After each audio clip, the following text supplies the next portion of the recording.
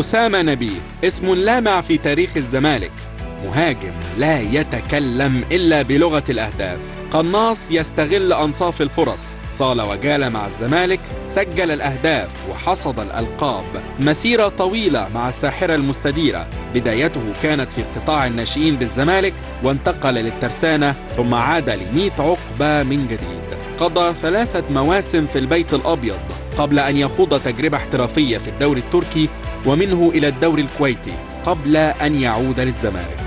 ثم انتقل إلى المحلة ثم اختتم مسيرته في المصرية للاتصالات قبل أن يقرر الاعتزال في 2009 رحال في عالم الكرة بعد مسيرة ناجحة يمتلك نبيه عددا من الإنجازات. لاعب الزمالك السابق كان في قائمة الفراعنة المتوجة ببطولة كأس الأمم الإفريقية عام 1998 ونجح نبيه مع الزمالك في التتويج بلقب الدوري مرتين كما يمتلك لقبا في بطولة كأس مصر ولقبا في بطولة السوبر المصري.